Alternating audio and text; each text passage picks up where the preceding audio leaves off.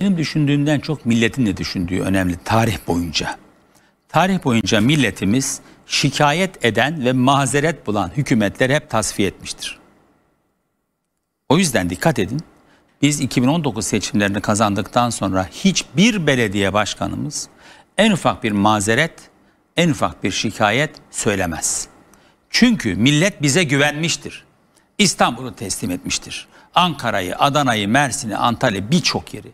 Nüfus olarak baktığınız zaman %50'den fazlasına hizmet etme şansını bize vermiştir. Ekonomik olarak baktığınızda %60'ı geçiyor hizmet et alanımız. Bizim şikayet etmeye değil, bizim mazeret üretmeye değil, çözüm üretmeye mecburiyetimiz var. Nedir çözüm? Elbette ki AK Parti mazeretler üretebilir. Onların kendi bilecekleri iş. Yok efendim Gezi, yahu Gezi olayından eğer ekonomi bu şekilde etkilenmişse vay benim ülkemin ekonomisine ya. Vay vay vay. Biraz daha Vay. yapsaydınız hocam. Vay benim bu Biraz ülkemin- daha yapsaydınız ya. Biraz daha yap, yaksaydınız, yıksaydınız. Sizin şahsınız için demiyorum da o geziye katılanlara. O askerin, polisin Ali Bey, araçlarını yıkmak, tamam. ya- yakmak, Peki. yıkmak, devletin konuya- kamu binalarını yakmak, Ali yıkmak. Bey beni konuşturmayacağınızı biliyorum. Yok ama yani Ama e, ben konuşmaya devam edeceğim. hayır diyorum ki hocam Bakın bakın, sizi rakam muhatap veriyorum almaya diyorum. devam etmek Yok istiyorum. yok ve rak- rakam veriyorum. Diyorum ki gezi başlamadan önce enflasyon %5'in altına düşmüştü. Bey. Faizler %5'in altına düşmüştü. Ali Bey. Ef- ge- Gezi bittiği gün enflasyon %10'un üzerindeydi o ay ve şeyde Ali Bey, dolar şey, sizi dolar muhatap yükselmişti. almaya eski bir milletvekilimiz olarak devam etmek istiyorum. Benim söylediğimi lütfen iyi anlayın. Ben Sizin diyorum ki, söylediğiniz- bakın Gezi'yi savunmak, savunmamak, Gezi doğrudur, yanlıştır konuşmuyoruz.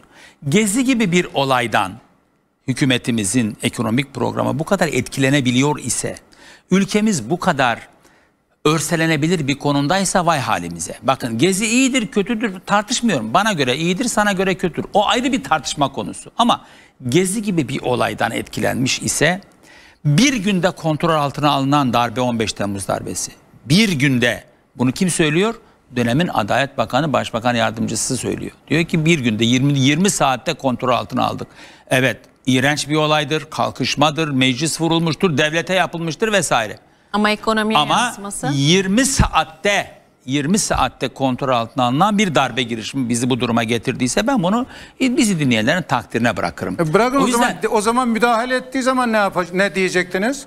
o zaman Siz gittiniz orada e, demokratik hakkını kullanıp Taksim'de ağaçlar kesilmesin diye şey yapan oradaki e, demokratik gösteri yapan insanlara kurşun mu yağdır diyecek. Kurşun mu yağdırması gerekiyordu?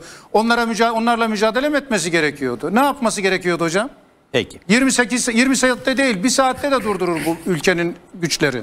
Peki. Ama ne yapması gerekiyor? Öyle mi yapması gerekirdi? Ee, size tekrar rica ediyorum. Benim Ekonomi. sözümü iyi dinleyin diye ben burada 15 Temmuz'da 20 saatte kontrol altına alıyorum. Siz olayı yine geziye götürdünüz. Ee, ben polemik yapmayacağım. Ben önemli şeyler söyleyeceğim Ali Bey. Müsaade edin bana. Sizin benim ne söyleyeceğimi bildiğinizi tahmin ediyorum. Buraya çalışmadan gelmeyeceğimi bildiğinizi de tahmin ediyorum. Beni konuşturmama niyetiniz olduğunu Yok asla asla. Ama asla. müsaadenizle ben konuşacağım. Alayım Ama ben konuşun. ekonomi Fakat- notlarını. Konuşun Şimdi, ama şimdi orta vadeli program yayınlandı. Değil mi? Benim görüşümü sordunuz. Bana göre hükümetin iflasının ve doğru söylemediğinin bir ispatıdır bu program. Orta vadeli program. Nedenini söyleyeceğim bir. İki, deminden beri sözü ve özü doğru bir AK Parti ile karşı karşıyayız, bir hükümetle karşı karşıyayız diyor arkadaşlarımız. Sözünün ve özünün bir olmadığını rakamlarla nasıl ispat ettiğimi birazdan size anlatacağım. Bunun için de iki şey yapacağım. Bir, orta vadeli programı değerlendirirken yeni orta vadeli programı bir önceki orta vadeli programın sadece 3 yılını değerlendireceğim. Bir de 2011 yılında yapılan orta vadeli programın 10 yıllık etkilerini değerlendireceğim. Çok süratli. Rakamlar vereceğim. Rakamlar tabii yayın kaydı altına alındığı için bizi izleyenler daha sonra tekrar izleyebilir. Örneğin, Hızlı alayım hocam. öz- Hiç örneğin kesmeyeceğim. hükümet 3 yıllık orta vadeli program yaptı. Kardeşim bir yıllık program yapamıyor bu hükümet. Bir yıllık. Daha Aralık 2019, ya Aralık 2021 yılında bütçe yaptı. Bir yıllık bütçe yaptı. Yine Maliye Bakanı'nın Haziran ayındaki ek bütçe teklif kanun teklifinde bütçe giderinin yüzde 61 oranında saptığını 6 ay içinde. Sadece 6 ayda bütçe giderinin yüzde 61 saptığını kendisi söylüyor. 61.7. Bütçe gelirinin ise %73.4 sapma gösterdiğini söylüyor 6 ay içinde. Siz bana diyorsunuz ki 3 yıllık program nasıl olacak? AK Parti'nin özü bir sözü bir. Nerede özü bir sözü bir? Özü sözü bir olsa kabul edilebilir orandaki bir sapmayı 12 ayda görebiliriz. 6 ayda öz sözü sözü özünden %61 ve %73 oranda sapmış. Bunu ben söylemiyorum. Hükümetin bakanı söylüyor. Şimdi gelelim bakalım. Son 2 yıla bir, 3 yıla bir bakalım. Bir önceki orta vadeli programda diyor ki 2021 enflasyon hedefi %8'dir. 2021 enflasyon hedefi %8'dir. Demin Ali Bey dedi ya ihracat şu kadar olacak filan. Bunlar temennidir. İstemeyenin gözü kör olsun. Tabii ki istemeyen. Oldu ya hocam olanları söylerim. Olanları söyledim ben de. Ee, orta vadeli program bir temennidir. Olacak diyor. Şöyle olacak. İnşallah olur. Ama olup olmayacağını görelim. 2021'deki AK Parti'nin be- enflasyon beklentisi yüzde 8. Gerçekleşen yüzde 36. Bakın 8, 18, 28 değil 36. 2022'deki enflasyon beklentisi nedir bu yıl için AK Parti'nin biliyor musunuz? Bir önceki orta vadeli programda yüzde 6. Yanlış duymadınız Hande Hanım.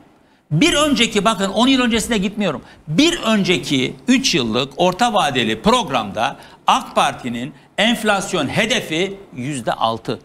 Şimdi kaç? %80. Bu rakamlar kimin rakamı? Bakın isterim ki bunlar yanlış olsun.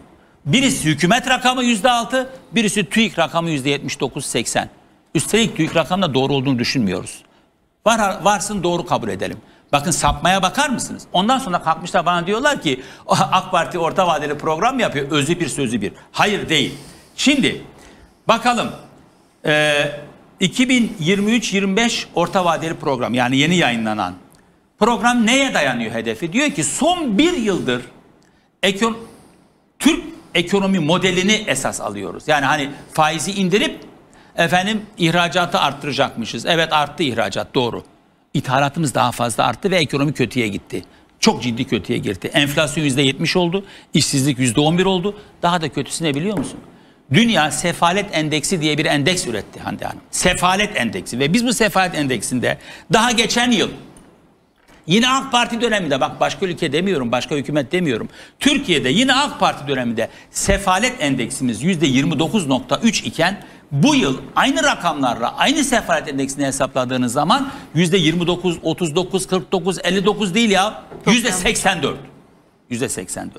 Şimdi AK Parti diyor ki dış ticaret dengesi 2021 için bir önceki OVP'yi söylüyorum orta vadeli program. 2021 yılında 39 milyar dolar eksi vereceğiz dış ticarette diyor. Dış ticaret dengesinde. Yani ithalatımız daha fazla olacak ihracatımızdan diyor. 30, 39 milyar dolar daha fazla ithalat yapacağız diyor.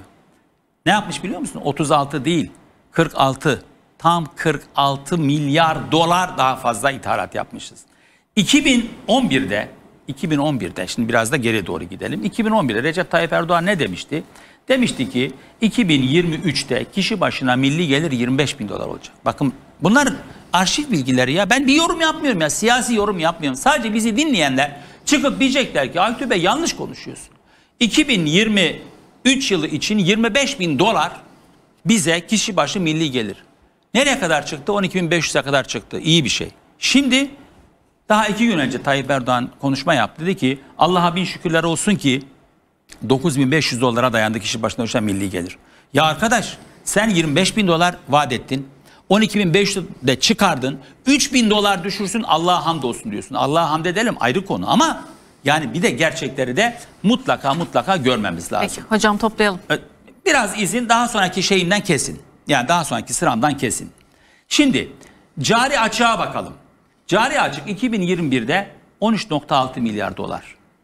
13.6 milyar dolar. Şimdi hükümet diyor ki 13 değil, 43 değil, 47.3 milyar dolar olmasını bekliyorum diyor. Kısaltıyorum. Türkiye'nin milli gelirdeki dünya sıralamasına bakalım. Hani iyi gidiyoruz ya. Ya kim istemez? Söylüyorum. 2011'de, 2001'de AK Parti yok daha. Daha kurulmamış. 2001'de milli gelirdeki dünya sıralamamız 23. sıra. Kötü değil mi? Kötü. Peki. AK Parti başa geliyor. 2004-2010 yılları arasında 17. sıraya bizi yükseltiyor. Yani Ali Bey'e iyi iyi hissedilen şeyi söylüyorum. 2010'a kadar 17. sıra. Bütün yılları çıkardım. Bakın daha da geri gidebilirim. Mesela 2019'da 19'a düşüyoruz. 2021'de 21'e, 2022'de 23. sıraya geriliyoruz. Bakın hepsi AK Parti dönemi. En kötü 1980 dönemine bakıyoruz. Darbe dönemi 21. sıradayız ya. Şu an 23. sıradayız. Tamam? Şimdi gelelim orta vadeli programın 2011'de ne söyledi AK Parti? Şimdi ne yaptı? Özü sözü bir mi? Ya da yalan mı söylüyorlar birileri? Ona bakalım. Şimdi AK Parti'nin verdiği vaatler bir tanesi gerçekleşti. Bir tanesi vaat olarak orta vadeli program. O da hemen peşinden söyleyeyim. Yurt dışındaki temsilcilik sayısı ile ilk beşe girmeyi hedefliyoruz dedi ve girdiler. Teşekkür ederiz. Bütün dünyada temsilcilik açma konusunda ilk beşinci, ilk beşe girecekler girdiler. Bunu tutturdular. Ne, ne işimize yarıyor? Mutlaka yarıyordur eminim. Bir hedef koydu tutturdu. Şimdi size tam 20 tane tutturamadığı AK Parti'nin hedefini bir çırpıda sayacağım. Enflasyon tek haneye düşecek. Bunu bak yani birisi desin ki yalan. Birisi desin bak yemin ediyorum taş olur. Enflasyon tek haneye düşecek. Düştü mü? İhracatta ileri yüksek teknoloji ürün payı yüzde yirmi olacak. Kaç oldu? Yüzde üç, yüzde yirmi değil. İnşaat malzemesi ihracatında 100 milyarla ilk üçe gireceğiz. Ne oldu biliyor musun? 100 milyar değil. 32 milyar. Turizm geliri 50 milyar dolar olacak. Ne oldu? 24 milyar. Turist 46 milyon olacak. Ne oldu? 24.7 milyon. İşsizlik %5'in altına düşecek. Tayyip Erdoğan'ın özü sözü bir insanın sözünü söylüyorum. Kaç oldu? TÜİK rakamı 11.2. Kayıt dışı istihdam %15 olacak. Kaç oldu? %27.8. Otomotiv ihracatımız. Kim istemez Allah aşkına ya? 125 milyar dolar olacak otomotiv parçaları. Kaç oldu? 29.3 milyar dolar. Bunların hepsi devlet rakamı veriyor. Hocam, uydurmuyor. Toplayacağım. Efendim parti kapatmaya son verilecek. Dava açıldı. Seçim barajı sıfırlanacak. %7'ye düşürüldü. Efendim e, AB hedefinden şaşılmayacak. Rafa kaldırıldı. Kadına ve sağlık çalışanlarına şiddet bitecek. Aynen son sürat devam ediyor. En çok beni yaralayan neydi biliyor musun? İlk yerli savaş uçağımız göklerde olacak. Hala söylüyorlar bunu. Hala söylüyorlar. Allah rızası için ya. Ah, Özü sözü bir, Bir lafa bakar mısın? şeye gitseydiniz hocam iyi olurdu ya. Bir dakika. Bitireyim sonra Savunma size. sanayiye bir Dünyanın iyi olurdu. Ali Bey savunma sanayi diye bir hedef koymamıştı. SİHA yaptı, İHA yaptı, iyi yaptı. Ayrı konu. Ben hedeflerini söylüyorum. AK Parti bir hedef koyuyor. Hedefi, özü sözü bir mi diye bizi dinleyenlere bırakıyorum. Son birkaç cümle. Dünyanın ilk 10 ekonomisine gireceğiz. Ya kim istemez? HDP'li de ister, Kürt de ister, Arap da, Türk de hepimizde. Ne oldu? G20'den düştük. Bak ilk 10 ekonomiden vazgeçtik. 20'den geriye düştük. Sosyal güvenlik açığı gayri safi yurt içi hasılanın %1'ine düşecek. Olmadı. Kadınların iş gücüne katılımı %38 olacaktı. Ne oldu? %20 küsürlerde kaldı. Yeni anayasa. Olmadı. Yenilenebilir enerji kaynakları en az %30 olacak. Nerede? Tamamen dışarıya bağlandık. Enerjide dışa bağımlılık ortaya tamamen ortadan kaldıracak. Ne oldu? Peki. Hiçbirisi gerçekleşmedi. Bir tane gerçekleşeni söyledim. Bakın proje o. Bakın AK Parti'nin yaptığı başka iyi işler yok demiyorum. Vardır. Vardır. Onlar ayrı konu. Her yerde de söylüyorum. Yaptığı iyi işler de var. Ancak Söylemeyin AK. Parti'nin İyi söz şeyler var verdiği- demeyin ya. Hocam AK toparlayalım Parti'nin artık. söz verdiği, özüm sözüm bir dediği ve yapmadığı bir çırpıda size 20 madde saydım. 20 madde daha var. Eğer izin verirseniz onu da sayarım. Pardon 16 madde daha var. 36 madde var çünkü. Çok uzun bir blok Yok oldu. tamam hocam. burada susayım ama bir de son cümle şunu olsun mu? Hande Hanım bakın. Çarpıcı olması Hande Hanım, açısından. siz diyorsunuz ki şey geliyor. Bakın şuradan şeye O ne? e, mesaja. Bakacağım da farklı ya bir şey. mesajlarla şimdi şu anda e, her Hayır, yani- bizi o kadar insan izlemiyorsa Son Hande Hanım, alayım. Son o kadar insan bizi ben. izlemiyorsa da Görmedim zaten. binlerce insan bizi izliyor. Yani milyonlarca olmaz. Yok yok yurt dışından mesaj bir, dedin de iki, şimdi üç- geldi Hollanda'dan. Tamam yurt dışında şimdi size Vallahi söyleyeceğim. takipçisi Bakın. sıfır hesaplar da yazıyor. Bakın Hande Hanım. Dinliyorum. Dinliyorum hocam. Türkiye'de her, her saniyede ödenen faiz ne kadar biliyor musunuz? Ne kadar? Her saniye Ne kadar aldığınız hocam? her nefes 545 dolar her saniye. Her saatte 2 milyon lira faiz ödüyoruz. Şu ana kadar 3 saatlik program yaptık. 6 milyon faiz borcu ödedik. 6 milyon. Her gün 48 milyon dolar bakın. Her gün 48 milyon dolar faiz ödüyoruz. Her saniye 545 dolar para ödüyoruz. Peki. Bu Hocam, da Ali Bey'e olsun. Almanya'dan, olsun. Hollanda'dan cevap veriyor ya. Hollanda'dan mesaj gelmiş onu söyleyecek şimdi. Bırakın şimdi mesajı. Ben size Almanya'dan, Hollanda'dan gelenlerin e, buradan ağzının payını vereyim.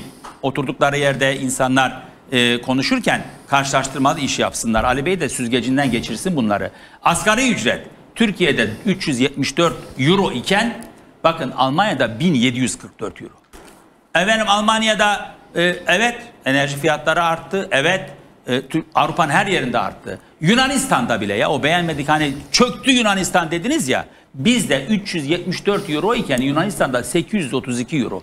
Sırbistan'da bile 402 euro bizden daha fazla. Macaristan, Romanya 500 euronun üzerinde bizden fazla. Peki enerjide şimdi diyor ya Ali Bey efendim işte e, şu kadar e, karanlıkta kalacaklarmış da bilmem neymiş de bakın söylüyorum size.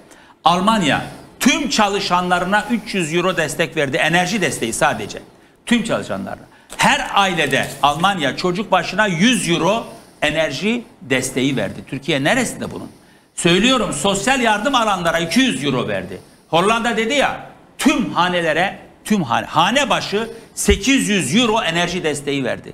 Nerede benim devletimi yönetenler ya? Anladım. Nerede benim devletim? Peki. Fransa Hocam. 100 euro nakit verdi herkese. Orada bırakıyorsunuz beni. Peki tamam Aykut susuyorum lütfen. ama yani aynı şekilde söylerlerse hepsi rakam